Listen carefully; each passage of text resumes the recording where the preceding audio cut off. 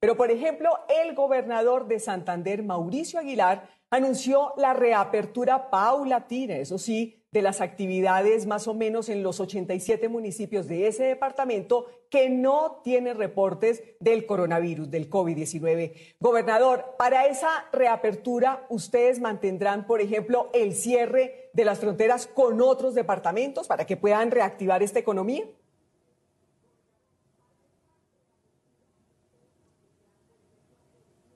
Muy buenas noches, un saludo para todos los televidentes. Nosotros hemos tomado decisiones de prevención, de evitar que llegue más coronavirus a nuestro departamento de Santander.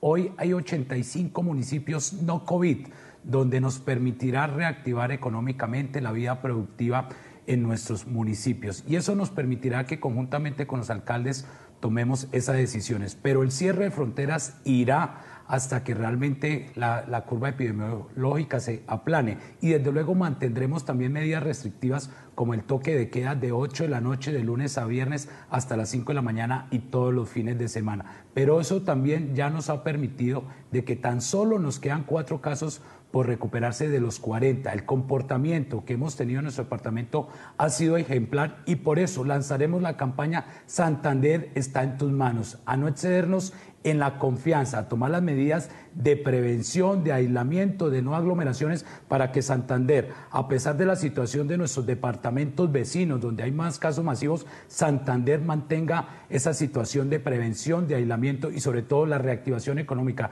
y de la vida productiva se vaya dando gradualmente como lo ha hecho el señor presidente Iván Duque.